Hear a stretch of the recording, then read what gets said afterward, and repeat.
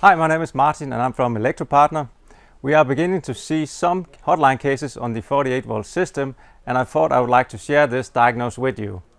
Audi introduced the 48 volt system on the SQ7 but here the car had a 12 volt alternator and from here an inverter that inverted the voltage up to 48 volts and from here to the 48 volt battery. Introducing with the Audi A8, they made a new system called the MHEV, mild hybrid system. And here we have a starter alternator that is 48 volt, so the car only has a 48 volt alternator. From here it can go to an inverter and forward from here to a 12 volt battery.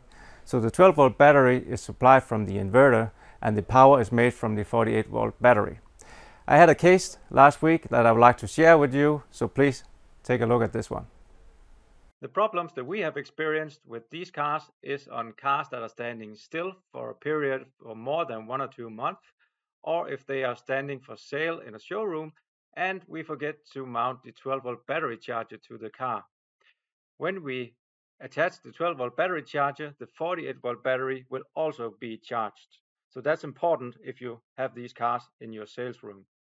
If you forget to mount the 12 volt charger, then first you will have the P0A7D fault code saying there's a uh, there's a low uh, state of charge on the 48 volt battery.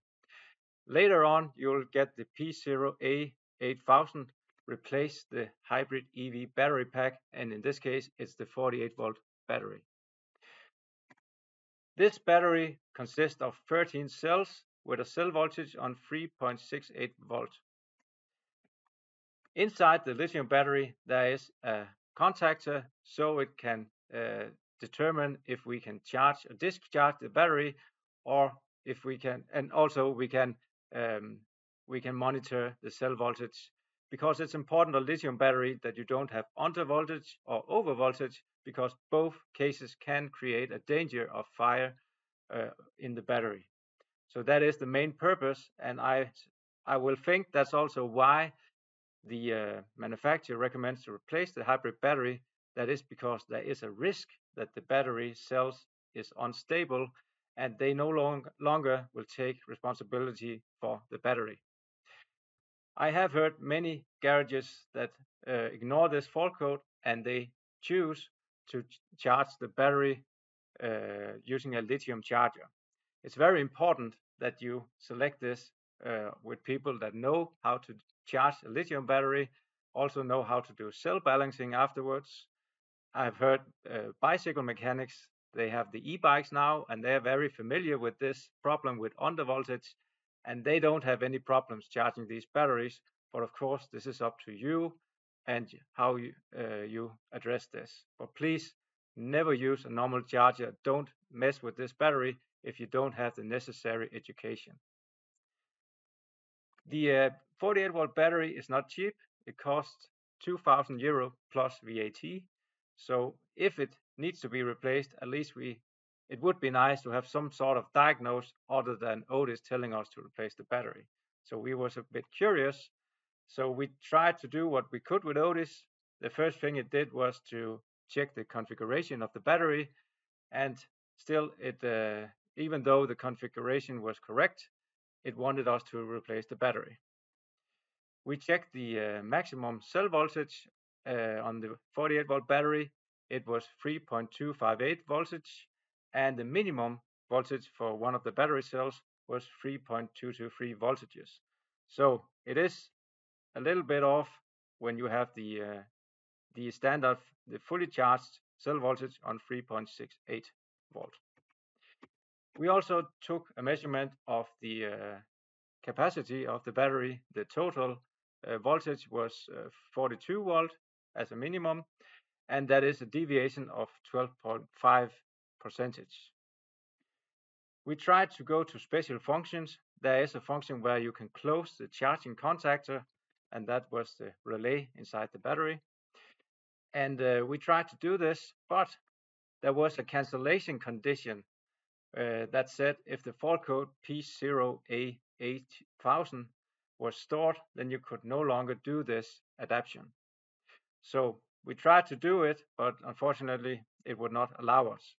If we only had the fault code P0A7D, then I would suspect that we could easily use this um, feature and attach a 12 volt charger and the 48 volt battery could now be recharged using ODIS and the 12 volt battery charger.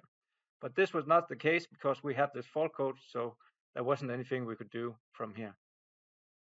It also say that the requirements for the adaptation is that it needs to be between 5 and 15% state of charge. And the strange, strange thing was that this case, it was only 12.5%. So it should be um, it should be doable, but unfortunately, in this case, we couldn't uh, force the charging. So we uh, tried to ask around, and we also found out that there was actually software manipulation on this car. If this has anything to say, I can't say for sure, but uh, it was interesting. Although we have had three cases with this, all the same.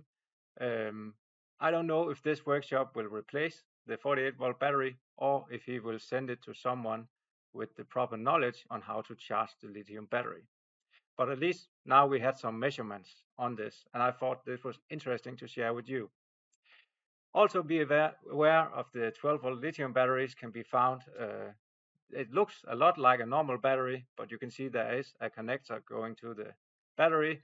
And of course, you also need to take care if you use a booster or jumper cable on these batteries.